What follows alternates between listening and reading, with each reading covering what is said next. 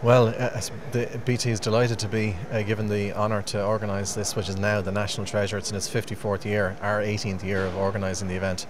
Um, BT is a telecommunications and IT services company, but we somehow managed to become really expert at organising this event, and uh, it's going to be fantastic this year. We have new shows around the uh, the RDS. We have our 550 projects, uh, and as ever, the standard is higher than ever.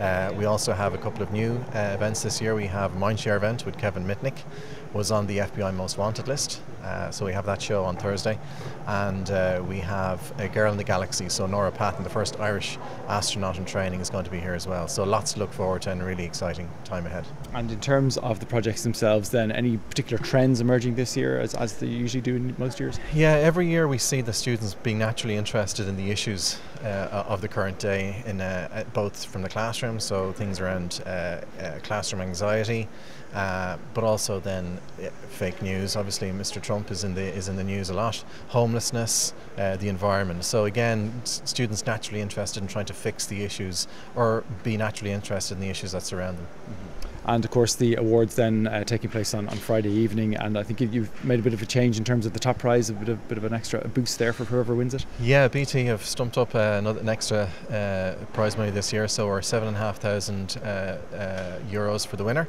and uh, a trip to Bletchley Park sponsored by BT. So the winner has that in store, but there's over 140 prizes as well, so lots to go around. And as I said, looking forward to the standard being as high as ever this year. Looking forward to to the a, winner being announced on Friday afternoon. Mm-hmm. And uh, I suppose once once again you could have taken in a lot more projects uh, potentially if you had the space to do it than, than you, you did. Uh, such was the, the, the interest in uh, applying this year. Yeah, the, the every year the BT Young Science and Technology Exhibition gets bigger. So we have over two and a half, or sorry, 2,100 uh, entrants this year, and we can only display 550 this year. We have 1,200 students who will be here during the week. Um, 60% female, 40% male, uh, and yes, uh, standard is very high as ever. To get in here alone is an achievement in itself. So well done to the students who, will be here this week. And uh, in terms of the public, then they're uh, invited to come and, and, visit from when? The public open to the public from Thursday morning uh, right through to Saturday evening. So we're hoping to get uh, over 50,000 uh, public here, and there's lots of them to do. There's 20 shows per day. We have 60 exhibitors here.